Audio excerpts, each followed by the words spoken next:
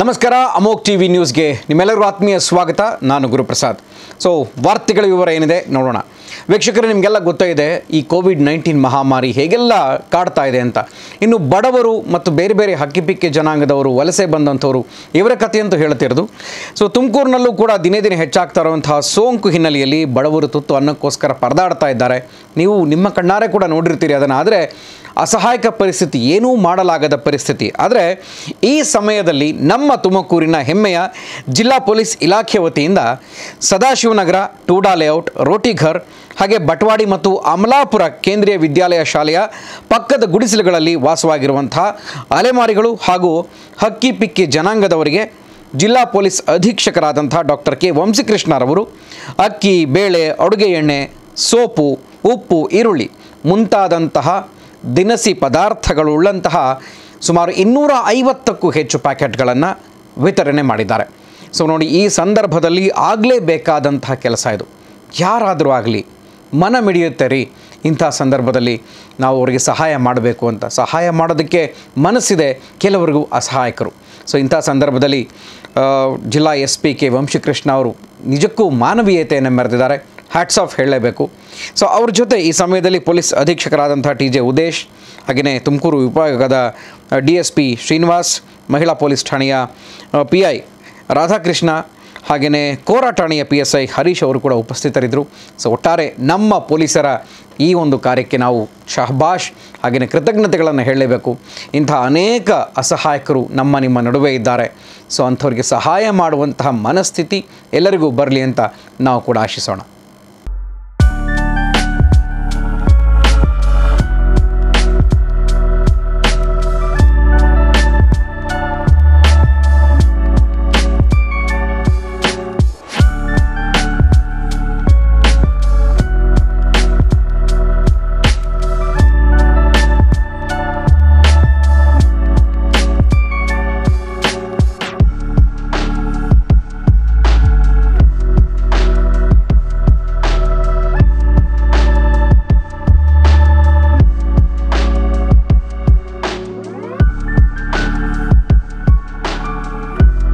ಜಿಲ್ಲೆಯಲ್ಲಿ Covid nineteen ಸೋಂಕು ದಿನೇ ದಿನೇ ಹೆಚ್ಚಾಗ್ತಿರೋ ಹಿನ್ನೆಲೆ ಬಡವರು ತುತ್ತು ಅನ್ನಕ್ಕಾಗಿ ಪರದಾಡ್ತಾ ಇದ್ದಾರೆ.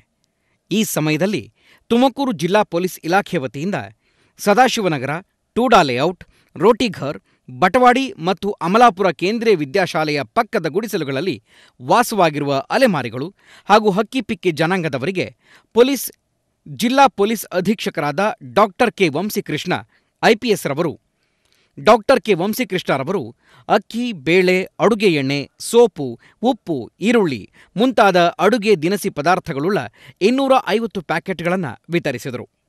ಈ ಸಮಯದಲ್ಲಿ ಹೆಚ್ಚುವರಿ ಪೊಲೀಸ್ ಅಧೀಕ್ಷಕರಾದ ಟಿಜೆ ಉದೇಶ್, ತುಮಕೂರು ಉಪವಿಭಾಗದ ಡಿಎಸ್ಪಿ ಶ್ರೀನಿವಾಸ್, ಮಹಿಳಾ ಪೊಲೀಸ್ ಠಾಣೆಯ ಪಿಐ ರವರಾದ ರಾಧಾಕೃಷ್ಣ, ಟಿಎಸ್ ಕೋರಾ ಠಾಣೆಯ ಪಿಎಸ್ಐ ಹರೀಶ್ ಉಪಸ್ಥಿತರಿದ್ದರು.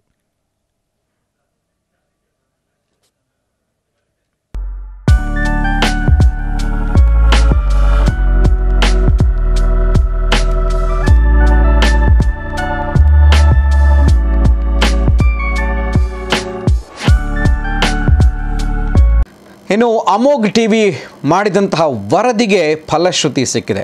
ಸೊ ಇದು ಅಮೋಘ್ ಟಿ ವಿಯ ಬಿಗ್ ಇಂಪ್ಯಾಕ್ಟ್ ಸೊ ಮಧುಗಿರಿ ತಾಲೂಕಿನಲ್ಲಿ ಸುಮಾರು ನಲವತ್ತಕ್ಕೂ ಹೆಚ್ಚು ಮಂಗಳಮುಖಿಯರು ವಾಸ ಇರ್ತಾರೆ. ಲಾಕ್ಡೌನ್ ಘೋಷಣೆ ಆಗಿರೋ ಹಿನ್ನೆಲೆಯಲ್ಲಿ ಅವರಿಗೆ ಕೆಲಸ ಇಲ್ಲ, ಕಾರ್ಯ ಇಲ್ಲ, ಹೊತ್ತಿನ ಊಟ ಇಲ್ಲ. ಸೊ ಹಾಗಾಗಿ ಈ ವರದಿಯನ್ನು ಮಂಗಳವಾರವಷ್ಟೇ ನಿಮ್ಮ ಅಮೋಘ್ ಟಿ ವಿ ವರದಿಯನ್ನು ಸವಿಸ್ತಾರವಾಗಿ ಬಿತ್ತರ ಮಾಡುತ್ತೆ. ಅವರ ಕಷ್ಟ ಕಾರ್ಪಣ್ಯಗಳೇನು ಅನ್ನೋದನ್ನು ತಿಳ್ಕೊಳ್ಳುತ್ತೆ. ಸೊ ಇದೀಗ ಈ ವರದಿ ಫಲಶ್ರುತಿಯನ್ನು ಕೊಟ್ಟಿದೆ. ತುಮಕೂರಿನ ಕೆ ಎನ್ ಆರ್ ಹಾಗೂ ಕೆ ಆರ್ ಆರ್ ಅಭಿಮಾನಿಗಳ ಬಳಗ ಮಂಗಳಮುಖಿಯರಿಗೆ ನೆರವಿನ ಹಸ್ತವನ್ನು ಚಾಚಿದೆ. ಇದು ಅಮೋಘ್ ನ್ಯೂಸ್ ಇಂಪ್ಯಾಕ್ಟ್. ವಿಶೇಷ, ನಮ್ಮ ತುಮಕೂರು ಜಿಲ್ಲೆಯ ಮಧುಗಿರಿ ತಾಲೂಕಿನ ಕೆ ಎನ್ ರಾಜನ್ ಅವರು ನಮ್ಮ ಮಂಗಳಮುಖಿಯರಿಗೆ ಎಲ್ಲರಿಗೂ ಸಹಾಯ ಮಾಡಿದ್ದಾರೆ.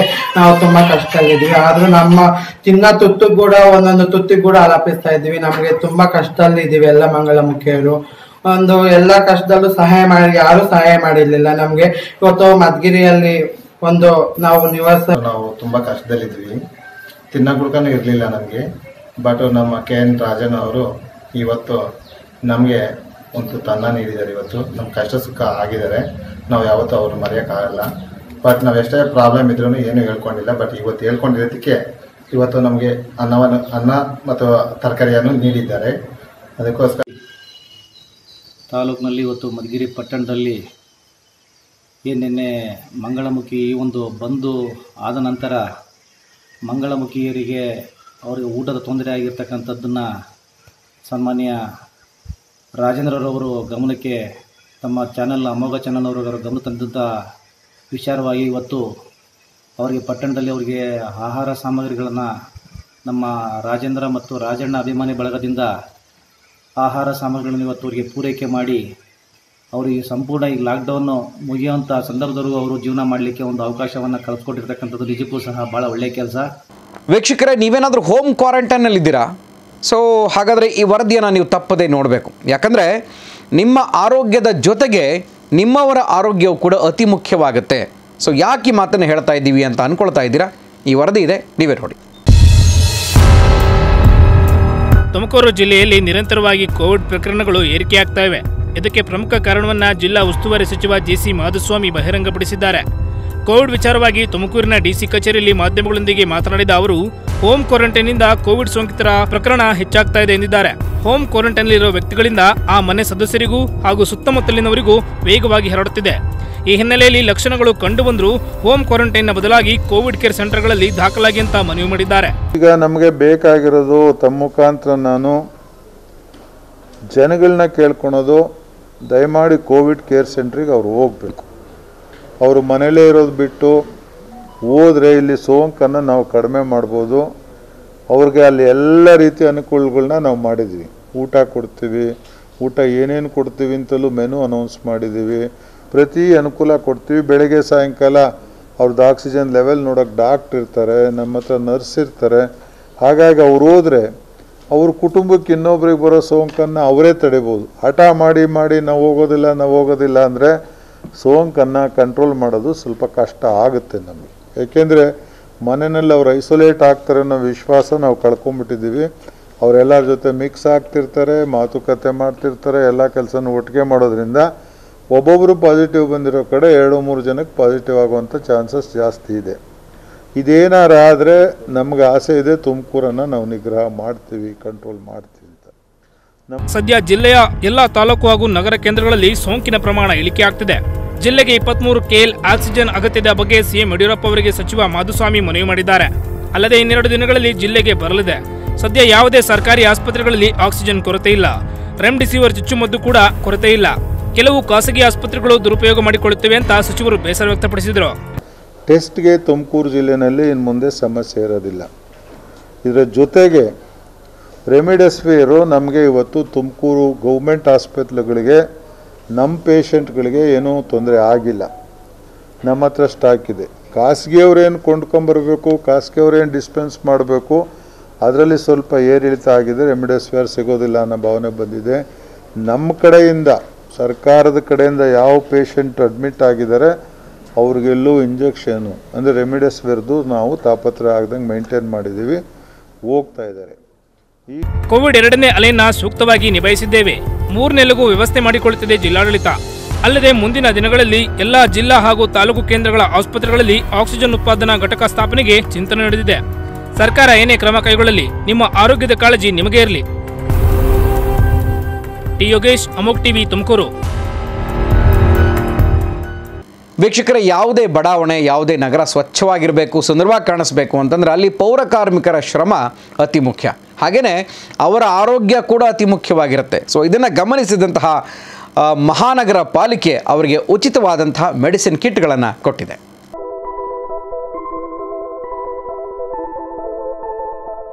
ನಗರದ ಹಾಗೂ ಜನರ ಆರೋಗ್ಯ ಕಾಪಾಡುವಲ್ಲಿ ಪೌರ ಕಾರ್ಮಿಕರ ಪಾತ್ರ ಬಹುಮುಖ್ಯ. ಪೌರ ಕಾರ್ಮಿಕರೇ ಇಲ್ಲದಿದ್ದರೆ ಸ್ವಚ್ಛ ನಗರ, ಸುಂದರ ನಗರವನ್ನು ನೋಡೋಕೆ ಸಾಧ್ಯವೇ ಇಲ್ಲ. ಇವರ ಆರೋಗ್ಯ ಕಾಳಜಿಗೆ ಒತ್ತು ನೀಡಿರುವ ತುಮಕೂರು ಮಹಾನಗರ ಪಾಲಿಕೆ ತಮ್ಮ ಪೌರ ಕಾರ್ಮಿಕರಿಗೆ ಆರೋಗ್ಯ ಕಿಟ್ ನೀಡಿದೆ. ಸಂಸದ ಜಿಎಸ್ ಬಸವರಾಜು ಪೌರ ಕಾರ್ಮಿಕರಿಗೆ ಸಾಂಕೇತಿಕವಾಗಿ ಕಿಟ್ ವಿತರಿಸಿದರು. ಅಲ್ಲದೆ ಎಲ್ಲರೂ ಕೋವಿಡ್ನಿಂದ ಜಾಗೃತಿ ಹಾಗೂ ರೋಗ ತಡೆಗೆ ಮುಂಜಾಗ್ರತಾ ಕ್ರಮ ಕೈಗೊಳ್ಳುವಂತೆ ಸಲಹೆ ನೀಡಿದರು. ಮತ್ತು ಹದಿನೈದನೇ ವಾರ್ಡಿನ ಕಾರ್ಪೊರೇಟ್ಗಳವರೆಲ್ಲರೂ ಸೇರಿ ನಮ್ಮ ನಗರ ಪಾಲಿಕೆ ಕಾರ್ಮಿಕರಿಗೆ ಇವತ್ತು ಮೆಡಿಸಿನ್ ಕಿಟ್ಟನ್ನು ಕೊಡ್ತಾ ಇದೆ ಅದರಲ್ಲಿ ಜ್ವರಕ್ಕೆ ಕೆಮ್ಮು ನೆಗಡಿಗೆ ಆಂಟಿಬಯೋಟಿಕ್ಕು ಈ ರೀತಿ ಎಲ್ಲ ವಿಚಾರದಲ್ಲೂ ಕೂಡ ಇರತಕ್ಕಂಥ ಸುಮಾರು ಹತ್ತರಿಂದ ಹನ್ನೆರಡು ಮಾತ್ರೆಗಳನ್ನು ಇವತ್ತು ಅವರು ಉಚಿತವಾಗಿ ಹಂಚ್ತಾ ಇದ್ದಾರೆ. ಇದೇ ರೀತಿ ಸುಮಾರು ನೂರೈವತ್ತು ಜನ ಎಂಪ್ಲಾಯೀಸ್ ಇರ್ತಕ್ಕಂಥ ನೂರೈವತ್ತು ನಾಲ್ನೂರೈವತ್ತು ಜನ ಎಂಪ್ಲಾಯೀಸ್ಗೂ ಕೂಡ ಇದನ್ನು ಕೊಡೋದಕ್ಕೆ ಅವರು ತೀರ್ಮಾನ ಮಾಡಿದ್ದಾರೆ. ಸಾಂಕೇತಿಕವಾಗಿ ಇವತ್ತು ಒಂದು ಹತ್ತು ಜನಕ್ಕೆ ನಾವು ಕೊಟ್ಟಿದ್ದೀವಿ. ದಯಮಾಡಿ ಮಹಾನಗರ ಪಾಲಿಕೆಗೆ ಸಂಬಂಧಪಟ್ಟಂಥ ಎಲ್ಲ ನೌಕರರು ಮತ್ತು ಇತರೆ ನಮ್ಮ ಎಂಪ್ಲಾಯೀಸು ಕೂಡ ಸೇರಿ ಈ ಉಚಿತವಾಗಿ ಕೊಡ್ತಕ್ಕಂಥ ಔಷಧಿಗಳನ್ನೆಲ್ಲ ಉಪಯೋಗಿಸ್ಕೊಂಡು ಆದಷ್ಟು ಕೂಡ ನಿಮ್ಮ ಮನೆ ಮುಂದೆ ಎಲ್ಲರೂ ಕೂಡ ಈ ಕೊರೋನಾ ಜಾಡಿಂದ ದೂರ ಇಡೋದಕ್ಕೆ ಅವ್ರಿಗೂ ತಿಳುವಳಿಕೆ ಹೇಳಿ ಮನೆಯವ್ರಿಗೂ ಕೂಡ ಕೊಡೋದಕ್ಕೆ ನಮ್ಮ ಕಾರ್ಪೊರೇಷನ್ದವರು ಪ್ರಯತ್ನ ಮಾಡಬೇಕು. ಯಾಕಂದರೆ ಅವ್ರ ಫ್ಯಾಮಿಲಿಗೂ ಕೊಡಬೇಕಾಗ್ತದೆ. ಅದನ್ನು ಕೂಡ ಕೊಟ್ಟು ನಿಮ್ಮ ಆರೋಗ್ಯ ಸ್ಥಿರವಾಗಿರ್ತಕ್ಕಂಥ ರೀತಿಯಲ್ಲಿ ಮಾಡೋದಕ್ಕೆ ಒಳ್ಳೆ ಪ್ರಯತ್ನ ಪಡ್ತಾವ್ರೆ. ಆದ್ದರಿಂದ ಮಹಾನಗರ ಪಾಲಿಕೆ ಮೇಯರ್ ಅವರಿಗೆ ನಮ್ಮ ಕಾರ್ಪೊರೇಟರ್ಗಳು ಕಮಿಷನರ್ಗಳು ಮತ್ತು ಇತರೆ ಎಲ್ಲ ನೌಕರಿ ವರ್ಗದವರಿಗೂ ಕೂಡ ನಾನು ಅಭಿನಂದನೆ ಸಲ್ಲಿಸಿ. ತುಮಕೂರು ಮಹಾನಗರ ಪಾಲಿಕೆಯಲ್ಲಿ ಐನೂರಕ್ಕೂ ಹೆಚ್ಚು ಕಾಯಂ ಹಾಗೂ ಗುತ್ತಿಗೆ ಆಧಾರದಲ್ಲಿ ಕೆಲಸ ಮಾಡ್ತಾ ಇದ್ದಾರೆ. ಸ್ವಚ್ಛತೆ ಮಾಡೋರು ಆಟೋ ಡ್ರೈವರ್ಗಳು ಡ್ರೈವರ್ಗಳು ವಾಟರ್ಮೆನ್ಗಳು ಹೀಗೆ ವಿವಿಧ ಹಂತಗಳಲ್ಲಿ ಕೆಲಸ ನಿರ್ವಹಿಸ್ತಾ ಇದ್ದಾರೆ. ಜಿಲ್ಲಾ ಕ್ಷಯರೋಗ ನಿಯಂತ್ರಣಾಧಿಕಾರಿ ಡಾಕ್ಟರ್ ಸಲತ್ ಕುಮಾರ್ ಮಾತ್ರೆಗಳನ್ನ ನೀಡಿ ಅದರ ಪಾತ್ರವನ್ನ ವಿವರಿಸಿದ್ರು. ಅದನ್ನ ಹೇಗೆ ಯಾವಾಗ ಬಳಕೆ ಮಾಡಬೇಕು ಅಂತ ಅವರಿಗೆ ತಿಳಿ ಹೇಳಿದರು. ನಮಸ್ಕಾರ. ನಾನು ಡಾಕ್ಟರ್ ಸನತ್ ಕುಮಾರ್, ಜಿಲ್ಲಾ ಕ್ಷಯರೋಗ ನಿಯಂತ್ರಣಾಧಿಕಾರಿ ತುಮಕೂರು. ನಾವಿವತ್ತೇನು ಮಾತ್ರೆಗಳನ್ನು ನೀಡ್ತಾ ಇದ್ದೀವಿ ಪೌರ ಕಾರ್ಮಿಕರಿಗೆ. ಆ ಮಾತ್ರೆಗಳಲ್ಲಿ ಏನಾಗಿದೆ, ಏನಾದರೂ ಕಾ, ಕರೋನಾ ಸಿಂಪ್ಟಮ್ಸ್ ಇದ್ದರೆ ಈ ಥರ ನೆಗಡಿ, ಕೆಮ್ಮು, ಜ್ವರ ಆ ಥರ ಬಂದರೆ, ಈ ಕಿಟ್ಟಲ್ಲಿ ನಾವು ಪ್ಯಾರಾಸಿಟಮಾಲ್ ಅಂತ ಜ್ವರದ ಮಾತ್ರೆ ಇಟ್ಟಿದ್ದೀವಿ. ಸೊ ಅವರು ಜ್ವರ ಇದ್ದರೆ ಮೂರು ಟೈಮ್ ತಗೋಬೇಕಾಗುತ್ತೆ. ಮತ್ತು ಕೆಮ್ಮು, ನೆಗಡಿ, ಶೀತ ಏನಾದರೂ ಬಂದರೆ ಸಿಟ್ರಿಜಿನ್ ಅಂತ ಮಾತ್ರ ಅದರಲ್ಲಿ ಇಟ್ಟಿದ್ದೀವಿ. ಸಿಟ್ರಿಜಿನ್ ಮಾತ್ರ ದಿನ ರಾತ್ರಿಗೆ ಒಂದು ತಗೋಬೇಕಾಗುತ್ತೆ. ಮತ್ತು ಹಾಗೆಯೇ ಐರುವೆಕ್ಟಿಮಿನ್ ಅಂತ, ಅದು ಮೊದಲು ನಾವು ಜಂತು ಹುಳಕ್ಕೆ ಕೊಡ್ತಾ ಇದ್ವಿ. ಸೊ ಅದು ಈ ಕರೋನಾಗೆ ತುಂಬ ಎಫೆಕ್ಟಿವ್ ಆಗಿರೋದ್ರಿಂದ ಪ್ರೊಫಿಲಾಕ್ಟಿಕ್ ಆಗಿ ನಾವು ತಗೋಬೋದು. ಸೊ ಅದು ನಮ್ಮ ಮಾನ್ಯತೆ ಆಗಿರೋದ್ರಿಂದ ದಿನ ಒಂದು ಖಾಲಿ ಹೊಟ್ಟೆಗೆ ಮೂರು ದಿವಸ ಮಾತ್ರ ತಗೋಬೇಕಾಗುತ್ತೆ. ಮತ್ತು ಹಾಗೆ ಆ್ಯಂಟಿಬಯೋಟಿಕ್ನು ನಾವು ಆ್ಯಡ್ ಮಾಡಿದ್ದೀವಿ, ಡಾಕ್ಸಿಸೈಕ್ಲಿನು. ಅದು ಬೆಳಗ್ಗೆ ಒಂದು, ರಾತ್ರಿ ಒಂದು, ಊಟ, ತಿಂಡಿ ಆದ ನಂತರ ಮತ್ತು ಅದ ನಂತರ ಗ್ಯಾಸ್ಟ್ರಿಕ್ ಮಾತ್ರ ಒಂದು ಇಟ್ಟಿದೆ ಯಾಕಂದರೆ ಇವೆಲ್ಲ ಮಾತ್ರ ತೊಗೊಂಡಾಗ ಗ್ಯಾಸ್ಟ್ರೈಟಿಸ್ ಆಗೋ ಸಹಜ. ಸೊ ಅದಕ್ಕೆ ಖಾಲಿ ಹೊಟ್ಟೆಯಲ್ಲಿ ಬೆಳಗ್ಗೆ ತಿಂಡಿಗೆ ಮುಂಚೆ ರಾತ್ರಿ ಊಟ ಆದಮೇಲೆ ಊಟಕ್ಕೆ ಮುಂಚೆ ತೊಗೋಬೇಕಾಗುತ್ತೆ. ಮತ್ತು ಜಿಂಕು ಮತ್ತು ವಿಟಮಿನ್ ಸಿ ಕಾಂಬಿನೇಷನಲ್ಲಿ ಮಾತ್ರ ಇದೆ. ಅದು ದಿನಕ್ಕೆ ಮೂರು ಸಾವಿರ ಚಪ್ಪರ್ಸೋ ಅಂತ ಮಾತ್ರ. ನಿಂಬೆ ಹುಳಿ ಥರ ಇರುತ್ತೆ. ಸೊ ಬಾಯಲ್ಲಿ ಇಟ್ಕೊಂಡು ಅದೇನಂದರೆ ನಮ್ಮ ಶಕ್ತಿನ ವೃದ್ಧಿಸ್ತದೆ. ಆವಾಗ ಕರೋನಾ ಒಳಗಡೆ ಹೋಗೋದನ್ನು ನಾವು ತಡಿಬೋದು. ಸೊ ಅದು ಅದಕ್ಕೋಸ್ಕರ ನಾವು ದಿನ ಮೂರು ಮೂರು ಟೈಮು ತಗೋಬೇಕಾಗುತ್ತೆ ಈಗ ಸಿಮ್ಸಮ್ಸ್ ಸಿಮ್ಟಮ್ಸ್ ಇದ್ರೆ ಮಾತ್ರ ತೊಗೊಬೇಕಷ್ಟೇ ಇಲ್ಲ ಹೌದು ಸಿಮ್ಟಮ್ಸ್ ಇದ್ದರೆ ಮಾತ್ರ ತಗೋಬೇಕಾಗುತ್ತೆ. ಮತ್ತು ಇದು ಐರೋವೆಕ್ಟಿಮಿನ್ನು ಮತ್ತು ವಿಟಮಿನ್ ಸಿ ಹಾಗೇ ತಗೋಬೇಕು. ಪ್ರೊಫಿಲಾಕ್ಟಿಕ್ ಆಗಿ ತಗೋಬೇಕು. ಪೌರ ಕಾರ್ಮಿಕರು ತಮಗೆ ನೀಡಿರುವ ಉಚಿತ ಔಷಧಿಗಳನ್ನು ಅಗತ್ಯಕ್ಕೆ ತಕ್ಕಂತೆ ಬಳಕೆ ಮಾಡಿಕೊಳ್ಳಬೇಕು. ಇದರಿಂದ ಕೋವಿಡ್ನಂಥ ಮಾರಣಾಂತಿಕ ದಿನಗಳಲ್ಲಿ ಅವರ ಆರೋಗ್ಯವು ಚೆನ್ನಾಗಿರಲಿದೆ. ಅವರಿಂದ ತುಮಕೂರು ನಗರವು ಸುಂದರ ಹಾಗೂ ಸ್ವಚ್ಛವಾಗಿ ಕಾಣಲು ಸಹಕಾರಿಯಾಗಿದೆ. ಯೋಗೀಶ್, ಅಮೋಕ್ ಟಿವಿ, ತುಮಕೂರು.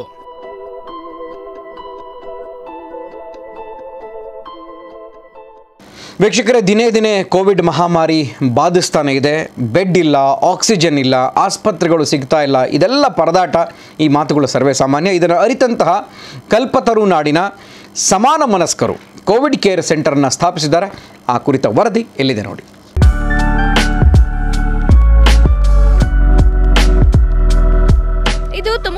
ರೇಣುಕಾ ವಿದ್ಯಾಪೀಠ. ಇನ್ನು ಮುಂದೆ ಕೊರೋನಾ ಸೋಂಕಿತರ ಗುಣಮುಖವಾಗುವ ಪೀಠ ಆಗಲಿದೆ. ಇಲ್ಲಿನ ಖಾಸಗಿ ಬಸ್ ನಿಲ್ದಾಣದ ಮುಂಭಾಗ ರೇಣುಕಾ ವಿದ್ಯಾಪೀಠದಲ್ಲಿ ಮಾಜಿ ಸಚಿವ ಸೊಗಡು ಶಿವಣ್ಣ ನೇತೃತ್ವದಲ್ಲಿ ಹಲವು ಸಮಾಜ ಸೇವಕರು, ಉದ್ಯಮಿಗಳು ಒಟ್ಟಿಗೆ ಸೇರಿ ಕೊರೋನಾ ವಿರುದ್ಧ ಹೋರಾಟಕ್ಕೆ ಟೊಂಕ ಕಟ್ಟಿ ನಿಂತಿದ್ದಾರೆ.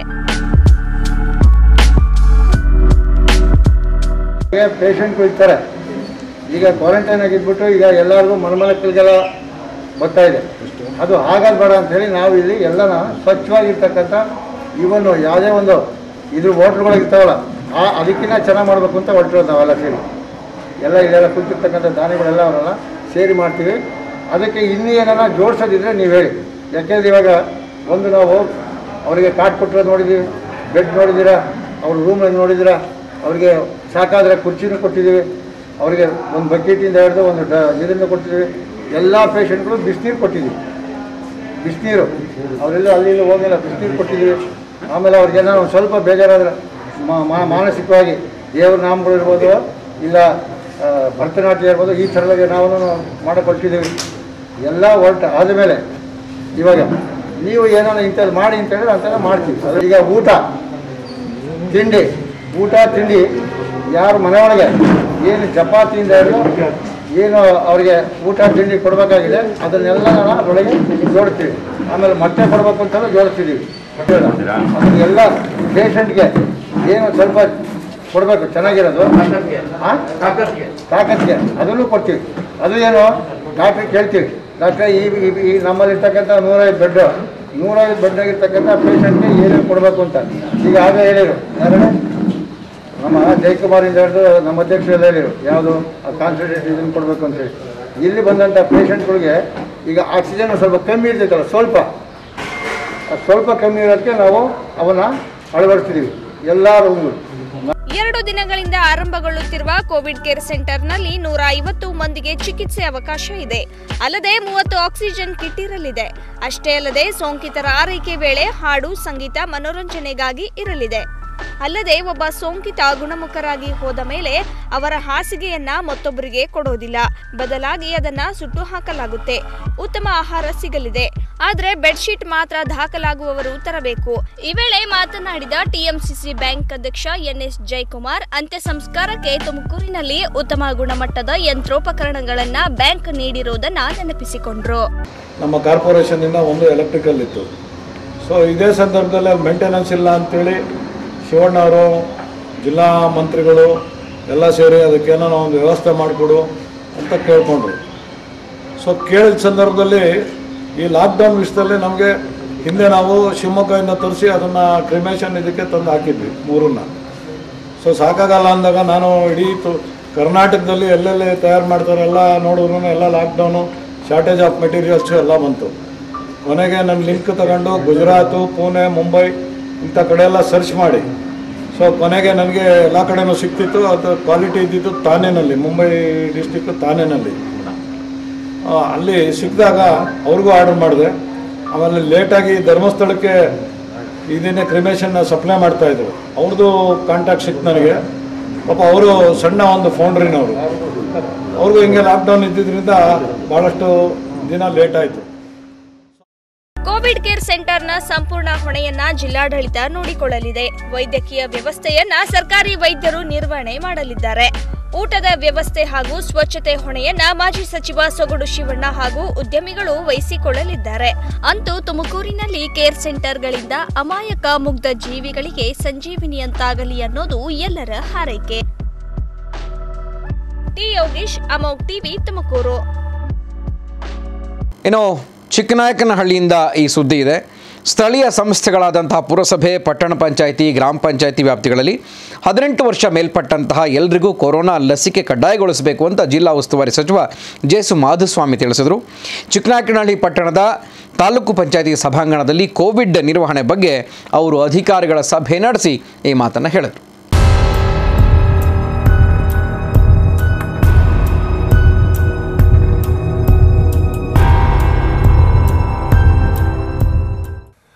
ಲಸಿಕೆ ಪಡೆಯುವವರು ಆನ್ಲೈನ್ ಮೂಲಕ ಕಡ್ಡಾಯವಾಗಿ ನೋಂದಾಯಿಸಿಕೊಳ್ಳಬೇಕು.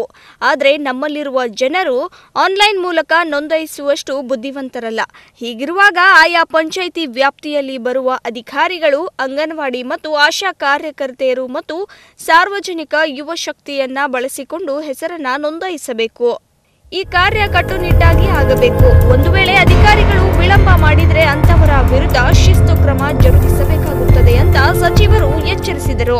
ಒಂದು ವೇಳೆ ನೋಂದಣಿ ಕಾರ್ಯ ವಿಳಂಬವಾದರೆ ಅಂತಹ ಪಂಚಾಯಿತಿ ಅಧಿಕಾರಿಗಳ ವಿರುದ್ಧ ಕಠಿಣ ಕ್ರಮ ಕೈಗೊಳ್ಳಲೇಬೇಕು.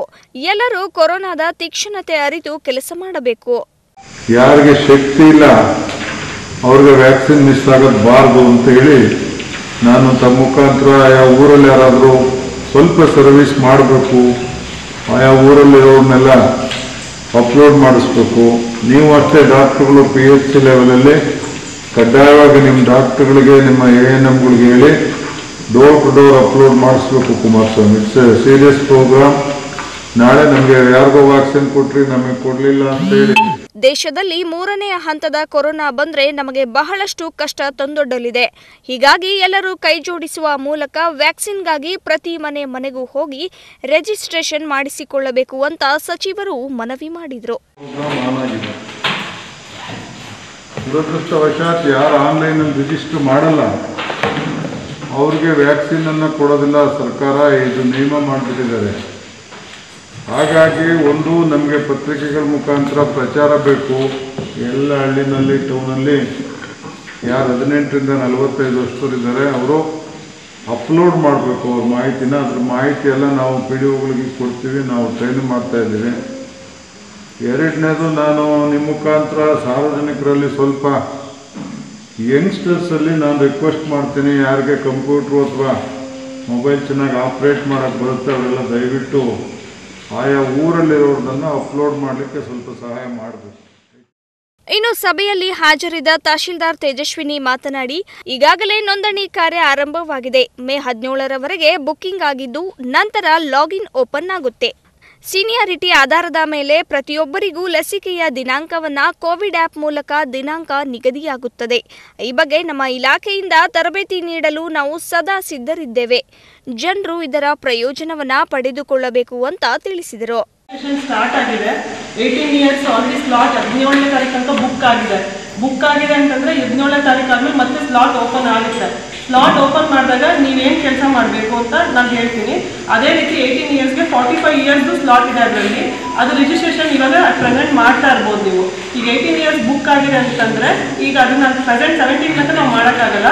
ಬಟ್ ಫಾರ್ಟಿ ಫೈವ್ ಪ್ಲಸ್ ಏನಿದೆ, ಅವ್ರಿಗೆ ಸ್ಟಾರ್ಟ್ ಮಾಡ್ಬೋದು ರಿಜಿಸ್ಟ್ರೇಷನು ಅದರಲ್ಲಿ ಅವಕಾಶ ಇದೆ. ಈಗ ಮೊದಲನೇ ಆಗಿ ವೆಬ್ಸೈಟ್ ನಿಮ್ಗೆ ಆಲ್ರೆಡಿ ಕಳಿಸಿದ್ದೀನಿ ನೀವು ಪಟ್ಟಿನ ಇದರಲ್ಲಿ ವೆಬ್ಸೈಟ್ ಅಡ್ರೆಸ್ ಇದೆ self registration dot CoWIN dot gov dot in ಅಂತ. ಅಥವಾ W W dot CoWIN dot gov dot in ಅಂತ. ಈ ಎರಡು ವೆಬ್ಸೈಟ್ಸ್ ಇದೆ.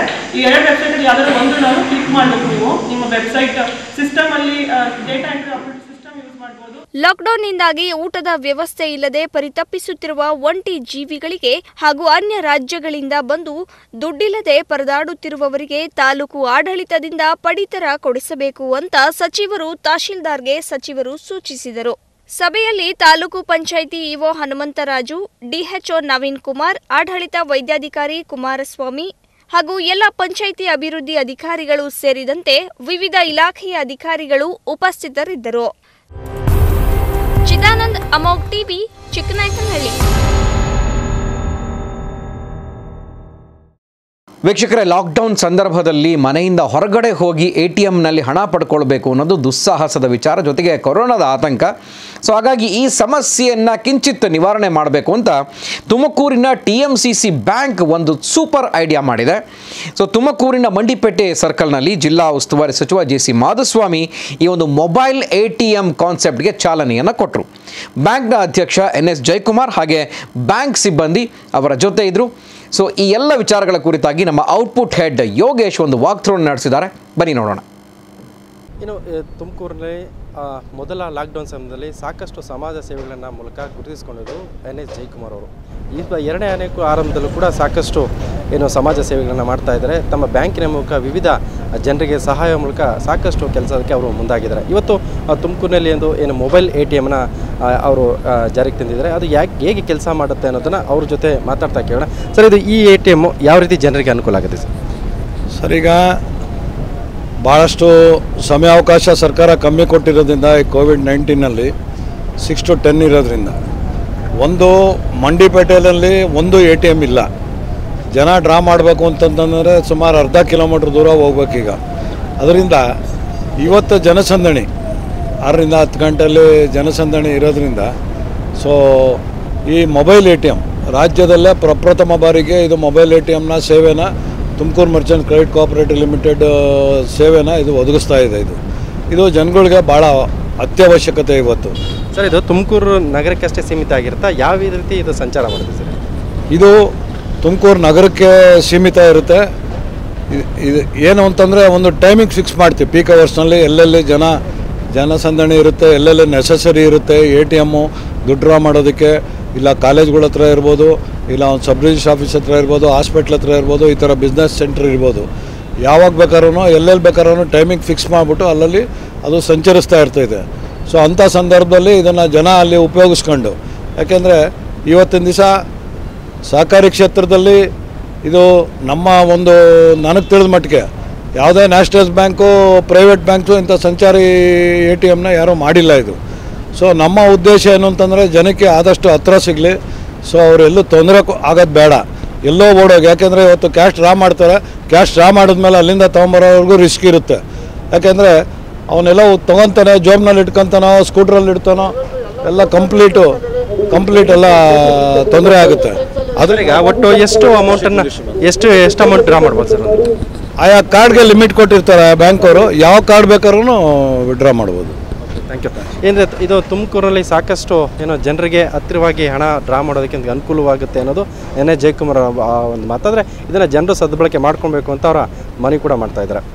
ಕ್ಯಾಮ್ರಾಮನ್ ಹರೀಶ್ ಟಿ ಯೋಗೀಶ್, ಅವಾಗ ನ್ಯೂಸ್ ತುಮಕೂರು.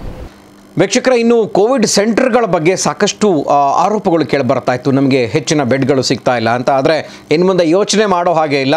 ಸಮಾನ ಮನಸ್ಕರು ಈಗಾಗಲೇ ಕೋವಿಡ್ ಕೇರ್ ಸೆಂಟರ್ ಓಪನ್ ಮಾಡಿದ್ದಾರೆ. ಅದರ ಜೊತೆ ಜೊತೆಗೇನೆ, ತುಮಕೂರು ನಗರದ ಬೆಳಗುಂಬ ರಸ್ತೆಯ ರೆಡ್ ಕ್ರಾಸ್ ವಾಕ್ ಶ್ರವಣ ದೋಷವುಳ್ಳಂತಹ ಮಕ್ಕಳ ಶಾಲೆಯಲ್ಲಿ ಕಾಂಗ್ರೆಸ್ ಮುಖಂಡ ಮುರಳೀಧರ್ ಹಾಲಪ್ಪ ಫೌಂಡೇಶನ್ ಇದರ ವತಿಯಿಂದ ಸೊ ಸಿದ್ಧಗೊಂಡಿದೆ ಒಂದು ಹೊಸ ಕೋವಿಡ್ ಕೇರ್ ಸೆಂಟರ್ ಸೊ ಅದಕ್ಕೆ ಮಾಜಿ ಉಪಮುಖ್ಯಮಂತ್ರಿ ಡಾಕ್ಟರ್ ಜಿ ಪರಮೇಶ್ವರ್ ಭೇಟಿ ಕೊಟ್ಟು ಅಲ್ಲಿನ ವ್ಯವಸ್ಥೆಗಳನ್ನು ಪರಿಶೀಲನೆ ಮಾಡಿದರು.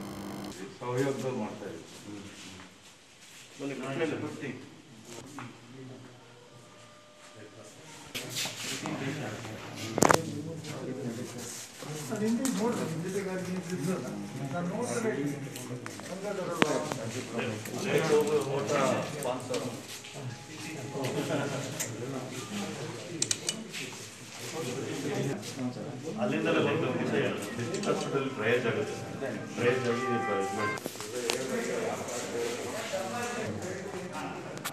ನಾಳದ್ರಿಂದ ಆಕ್ಸಿಜನ್ ಪೇಷೆಂಟ್ಸ್ ತಗೊಳ್ತಾರೆ. ನಾಳೆಯಿಂದ ಸಿಂಟಮ್ಸ್ ಎಲ್ಲ ಮಾಡ್ತಾರೆ. ಸಾಟರ್ಡೇಯಿಂದ ಆಕ್ಸಿಜನ್ ಯಾಕಂದ್ರೆ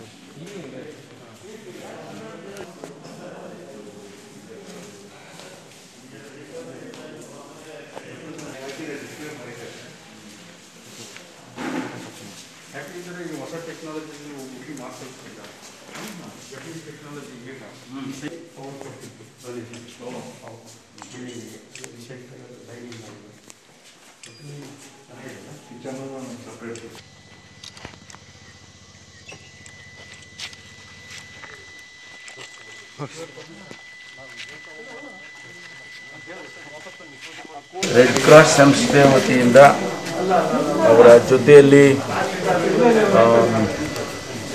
ಮುರಳೀಧರ ಫೌಂಡೇಶನ್ ಮೂರು ಫೌಂಡೇಶನ್ನವರು ಅವರೆಲ್ಲರೂ ಕೂಡ ಸೇರಿ ಒಂದು ಕೋವಿಡ್ ಸೆಂಟರನ್ನು ಇವತ್ತು ಪ್ರಾರಂಭ ಮಾಡ್ತಾ ಇದ್ದಾರೆ. ಇದಕ್ಕೆ ನಮ್ಮ ತುಮಕೂರಿನ ಅನೇಕ ಜನ ದಾನಿಗಳು ಇವತ್ತು ಸಹಾಯ ಮಾಡಿದ್ದಾರೆ. ಅವರೆಲ್ಲರಿಗೂ ಪ್ರ ಪ್ರಥಮವಾಗಿ ನಾನು ಕೃತಜ್ಞತೆಯನ್ನು ಸಲ್ಲಿಸೋದಕ್ಕೆ ಬಯಸ್ತೇನೆ. ಇವತ್ತಿನ ಅಗತ್ಯತೆ ಇರ್ತಕ್ಕಂಥದ್ದು ಕೋವಿಡ್ ಬಂದಂಥ ಸಂದರ್ಭದಲ್ಲಿ ಅವರನ್ನು ಪ್ರಥಮತಃ ಆರೈಕೆ ಮಾಡ್ತಕ್ಕಂಥದ್ದು ಬಹಳ ಮುಖ್ಯ. ಅದಕ್ಕಾಗಿ ಇಂತಹ ಕೇಂದ್ರಗಳು ಬಹಳ ಜನರ ಪ್ರಾಣವನ್ನು ಉಳಿಸೋದಷ್ಟೇ ಅಲ್ಲ, ಮತ್ತು ಎಲ್ರಿಗೂ ಕೂಡ ಒಂದು ರೀತಿಯ ಪ್ರಜ್ಞೆಯನ್ನು ಮೂಡಿಸ್ತಕ್ಕಂಥ ರೀತಿಯಲ್ಲಿ ಕೆಲಸ ಮಾಡ್ತವೆ ಅಂತೇಳಿ ನಾನು ಅಂದ್ಕೊಳ್ತೇನೆ.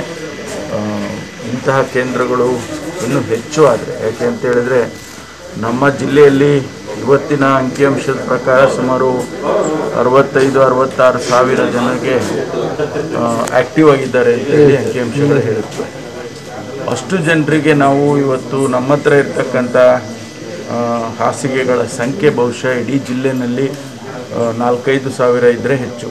ನಮ್ಮ ಎರಡು ಮೆಡಿಕಲ್ ಕಾಲೇಜು, ಜಿಲ್ಲಾ ಆಸ್ಪತ್ರೆ ಮತ್ತು ಪ್ರತಿ ತಾಲೂಕಿನಲ್ಲಿರ್ತಕ್ಕಂಥ ತಾಲೂಕು ಆಸ್ಪತ್ರೆಗಳು ಎಲ್ಲವನ್ನು ಸೇರಿದ್ರೆ ನಾವು ಐದು ಸಾವಿರ ಬೆಡ್ಡಿಗೆ ಕೂಡ ತಲುಪೋದಿಲ್ಲ. ಅರವತ್ತೈದು ಸಾವಿರ ಜನರು ಪಾಸಿಟ್ ಆಗಿರ್ತಕ್ಕಂಥ ಸಂದರ್ಭದಲ್ಲಿ ಈ ಐದು ಸಾವಿರ ಬೆಡ್ನಲ್ಲಿ ಏನು ಟ್ರೀಟ್ಮೆಂಟ್ ಮಾಡೋಕ್ಕಾಗುತ್ತೆ ಅನ್ನುವಂಥದ್ದು ಪ್ರಶ್ನೆ. ಹಾಗಾಗಿ ಇಂಥ ಕೇಂದ್ರಗಳು ಇನ್ನೂ ಹೆಚ್ಚೆಚ್ಚು ಆದರೆ ತಾಲೂಕು ಮಟ್ಟದಲ್ಲಿ, ಹೋಬಳಿ ಮಟ್ಟದಲ್ಲಿ ನಮ್ಮ ಏನು ಹಾಸ್ಟೆಲ್ಗಳು ಅಥವಾ ನಮಗಿರ್ತಕ್ಕಂಥ ಬೇರೆ ಬೇರೆ ಏನು ಕಟ್ಟಡಗಳು, ಅವುಗಳನ್ನೆಲ್ಲ ನಾವು ಸರ್ಕಾರ ಅಥವಾ ಜಿಲ್ಲಾಡಳಿತ ತೆಗೆದುಕೊಂಡು ಅವುಗಳನ್ನ ಕೋವಿಡ್ ಸೆಂಟರ್ ಮಾಡಿದರೆ ಭಾಳ ಸಹಾಯ ಆಗುತ್ತೆ ಅಂತ. ಕೋವಿಡ್ ಸೆಂಟರ್ ಯಾಕೆ ಮಾಡಬೇಕು ಅಂತ ಹೇಳಿದರೆ, ಒಬ್ಬ ವ್ಯಕ್ತಿಗೆ ಬಂದರೆ ಅವನು ಊರಲ್ಲೆಲ್ಲ ಓಡಾಡ್ತಿದ್ದ ಅವನಿಗೇನು ಗೊತ್ತಿರೋದಿಲ್ಲ. ಎಸಿಮ್ಟಮ್ಯಾಟಿಕ್ ಅಂತಂದರೆ ಅವನಿಗೆ ಗೊತ್ತಿರೋದಿಲ್ಲ. ಆದರೆ ಅವನ್ನೆಲ್ಲ ಓಡಾಡ್ತಿರ್ತಾನೆ. ಅದು ಬೇರೆ ಬೇರೆಯವ್ರಿಗೂ ಕೂಡ ಹರಡುತ್ತೆ ಹಾಗೆ ಅಂತ. ಅವ್ರನ್ನ ತೆಗೆದುಕೊಂಡು ಹೋಗಿ ಈ ಕೋವಿಡ್ ಸೆಂಟರ್ನಲ್ಲಿ ನಾವು ಹಾಕಿದರೆ ಬಹುಶಃ ಈ ಹರಡುವಂಥದ್ದು, ಸ್ಪ್ರೆಡ್ ಆಗುವಂಥದ್ದು ಕಡಿಮೆ ಆಗ್ತದೆ ಅಂತ ಹಾಗಾಗಿ ಇಂಥ ಎಸ್, ಮುಂದಿನ ಸುದ್ದಿ ಕಡೆ ಗಮನ ಕೊಡೋಣ. ಬೆಂಗಳೂರಿನಲ್ಲಿ ಈಗಾಗಲೇ ಸಾಕಷ್ಟು ಜನ ಮನವಿಯನ್ನು ಮಾಡ್ಕೊಂಡಿದ್ದಾರೆ. ಸೊ ಹೀಗಾಗಿ ವ್ಯಾಕ್ಸಿನ್ ಪಡೆಯೋದಕ್ಕೆ ಬೆಂಗಳೂರು ಗ್ರಾಮಾಂತರ ಚಿಕ್ಕಬಳ್ಳಾಪುರ ಗೌರಿಬಿದನೂರು ಗುಡಿಬಂಡೆ, ಚಿಂತಾಮಣಿ ಹಾಗೆ ರಾಮನಗರ, ಮೈಸೂರು ಕಡೆಗಳೆಲ್ಲ ಬೆಂಗಳೂರಿನ ಜನ ಹೋಗ್ತಾ ಇದ್ದಾರೆ. ಸೊ ಇವರನ್ನು ತಡೆಯೋದಕ್ಕೆ ನಮಗೆ ಅವಕಾಶ ಇಲ್ಲ. ಹಾಗಾಗಿನೇ ಆಯಾ ಜಿಲ್ಲೆಯ ಯುವಕರಿಗೆ ಆಯಾ ಜಿಲ್ಲೆಯಲ್ಲಿಯೇ ವ್ಯಾಕ್ಸಿನ್ ಪಡೆಯೋದಕ್ಕೆ ಅವಕಾಶ ಮಾಡಿಕೊಡಬೇಕು ಅಂತ ಬೆಂಗಳೂರಿನಲ್ಲಿ ಮನವಿ ಮಾಡಿಕೊಳ್ತೀನಿ ಅಂತ ಆರೋಗ್ಯ ಮತ್ತು ವೈದ್ಯಕೀಯ ಶಿಕ್ಷಣ ಸಚಿವ ಸುಧಾಕರ್ ತಿಳಿಸಿದರು. ಚಿಂತಾಮಣಿ ನಗರದ ಕೋವಿಡ್ ಆಸ್ಪತ್ರೆಗೆ ಭೇಟಿ ನೀಡಿ ಅಧಿಕಾರಿಗಳೊಂದಿಗೆ ಚರ್ಚೆ ನಡೆಸಿ ಅವರು ಸುದ್ದಿಗಾರರೊಂದಿಗೆ ಮಾತನಾಡಿದರು. ಬೆಂಗಳೂರಿಗರು ಅವರ ಹತ್ತಿರದ ಆರೋಗ್ಯ ಕೇಂದ್ರಗಳಲ್ಲಿ ವ್ಯಾಕ್ಸಿನ್ ಪಡೆಯದೆ ಪಕ್ಕದ ಜಿಲ್ಲೆಗಳಲ್ಲಿ ನೋಂದಣಿ ಮಾಡಿಸಿಕೊಂಡು ಬೇರೆ ಜಿಲ್ಲೆಗಳಿಗೆ ಹೋಗುತ್ತಿದ್ದಾರೆ. ಅಲ್ಲಿನ ಜನಸಂದಣಿ ಹೆಚ್ಚುವಂತೆ ಮಾಡುತ್ತಿದ್ದಾರೆ. ಅಷ್ಟೇ ಅಲ್ಲದೆ ಸ್ಥಳೀಯರಿಗೆ ವ್ಯಾಕ್ಸಿನ್ ಕೊರತೆ ಎದುರಾಗುವುದರಿಂದ ಸ್ಥಳೀಯರು ಪರದಾಡುವಂತಾಗಿದೆ. ಆದ್ದರಿಂದ ಬೆಂಗಳೂರಿಗರಲ್ಲಿ ನಾನು ಮನೆ ಮಾಡಿಕೊಳ್ಳುವುದೇನೆಂದರೆ ನಿಮ್ಮ ಸ್ಥಳೀಯ ಆರೋಗ್ಯ ಕೇಂದ್ರಗಳಲ್ಲಿ ವ್ಯಾಕ್ಸಿನ್ ಪಡೆದುಕೊಂಡು ಮನೆಯಲ್ಲೇರಿ ಅಂತ ಮನವಿ ಮಾಡಿದ್ರು. ಇವತ್ತು ಬೆಂಗಳೂರಿನಲ್ಲಿರ್ತಕ್ಕಂಥವರು ನೆರೆಯ ಜಿಲ್ಲೆಗಳು. ರಾಮನಗರ, ಚಿಕ್ಕಬಳ್ಳಾಪುರ, ಕೋಲಾರ ಮಂಡ್ಯದವ್ರಿಗೂ ಹೋಗಿದ್ದಾರಂತೆ ನೆನೆ ಗುಡಿಬಂಡೆಗೆ ಹೋಗಿದ್ದಾರೆ. ಕೋಲಾರಕ್ಕೆ ಹೋಗಿದ್ದಾರೆ. ಇದನ್ನು ನಾವು ಪೋರ್ಟಲಲ್ಲಿ ಆಗಿರೋದ್ರಿಂದ, ಆನ್ಲೈನ್ ಪೋರ್ಟಲಲ್ಲಿ ನಮಗೆ ಯಾರಿಗೂ ಕೂಡ ನಿಯಂತ್ರಣಕ್ಕೆ ಬರೋದಿಲ್ಲ ಅದು.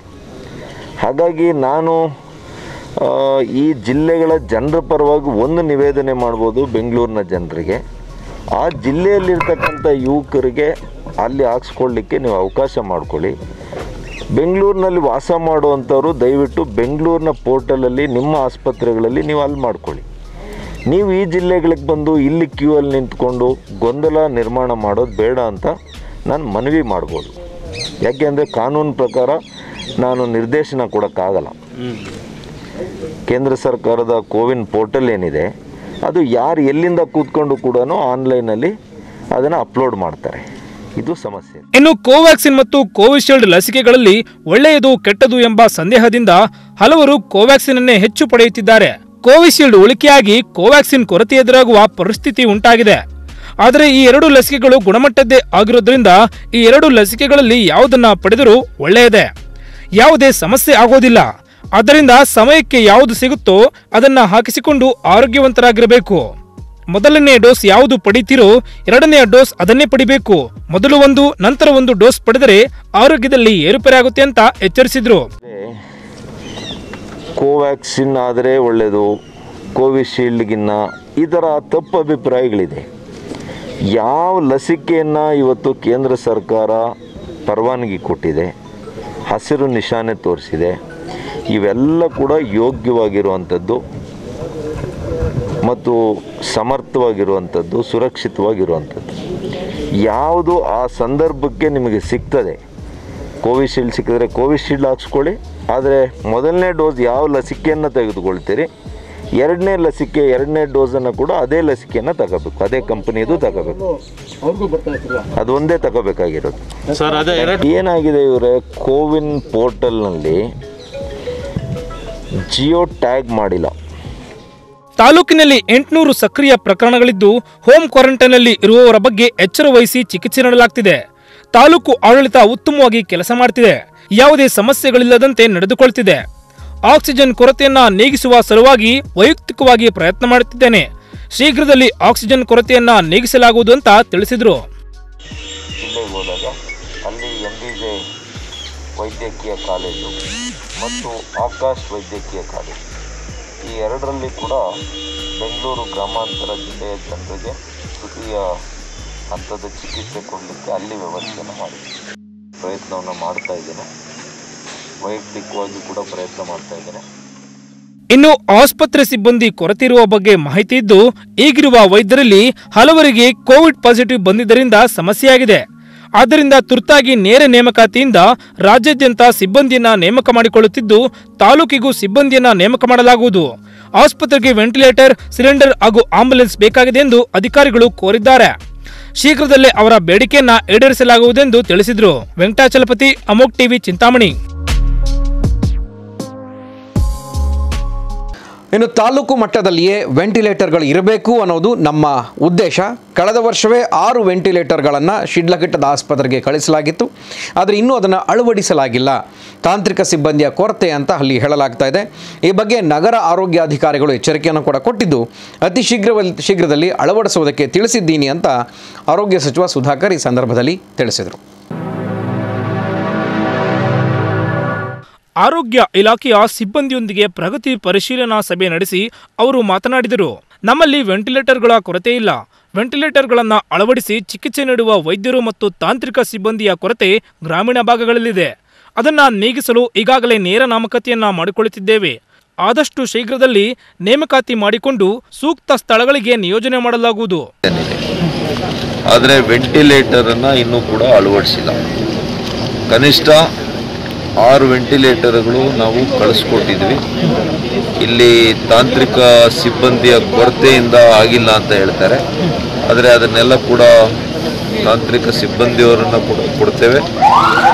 ಮತ್ತು ನೀವು ಆರು ವೆಂಟಿಲೇಟರ್ಗಳನ್ನು ಅಳವಡಿಸಿ ಇಲ್ಲಿನ ಸ್ಥಳೀಯರಿಗೆ ನೀವು ಸೂಕ್ತ ಚಿಕಿತ್ಸೆಯನ್ನು ಕೊಡಬೇಕು ಅಂತ ಕೂಡ ಈಗ ಸೂಚನೆಯನ್ನು ಕೊಟ್ಟಿದ್ದೀವಿ. ಶಿಡ್ಲಘಟ್ಟ ಸರ್ಕಾರಿ ಆಸ್ಪತ್ರೆಯಲ್ಲಿ ಐವತ್ತು ಹಾಸಿಗೆಗಳಿದ್ದು ಅವುಗಳಿಗೆ ಆಮ್ಲಜನಕ ವ್ಯವಸ್ಥೆಯನ್ನು ಅಳವಡಿಸಲಾಗಿದೆ. ಮುಂದಿನ ದಿನಗಳಲ್ಲಿ ಪ್ರತಿಯೊಂದು ತಾಲೂಕು ಕೇಂದ್ರಗಳಲ್ಲೂ ಆಮ್ಲಜನಕ ತಯಾರಿಕಾ ಘಟಕಗಳನ್ನು ಸ್ಥಾಪಿಸಲಾಗುವುದು. ಈಗಾಗಲೇ ತಾಂತ್ರಿಕ ಪರಿಣಿತರು ಶಿಡ್ಲಘಟ್ಟ ಸೇರಿದಂತೆ ಎಲ್ಲ ತಾಲೂಕು ಆಸ್ಪತ್ರೆಗಳಿಗೂ ಪರಿಶೀಲನೆ ನಡೆಸಿದ್ದಾರೆ. ಲಸಿಕೆಗಳು ಇನ್ನೊಂದು ವಾರದಲ್ಲಿ ಎಲ್ಲೆಡೆ ಲಭ್ಯವಾಗಲಿದೆ ಅಂತ ತಿಳಿಸಿದರು. ತಾಲೂಕು ಆರೋಗ್ಯಾಧಿಕಾರಿ ಡಾಕ್ಟರ್ ವೆಂಕಟೇಶ್ ಮೂರ್ತಿ, ನಗರ ಆರೋಗ್ಯಾಧಿಕಾರಿ ಡಾಕ್ಟರ್ ವಾಣಿ ಹಾಜರಿದ್ದರು. ಜಗದೀಶ್ ಬಾಬು ಅಮೋಕ್ ಟಿವಿ ಶಿಡ್ಲಘಟ್ಟ. ಇವಿಷ್ಟು ಹೊತ್ತಿನ ಪ್ರಮುಖ ಸುದ್ದಿಗಳು. ನೋಡ್ತಾರಿ ಅಮೋಕ್ ಟಿವಿ ಎಂದೆಂದಿಗೂ ನಿಮ್ಮೊಂದಿಗೆ.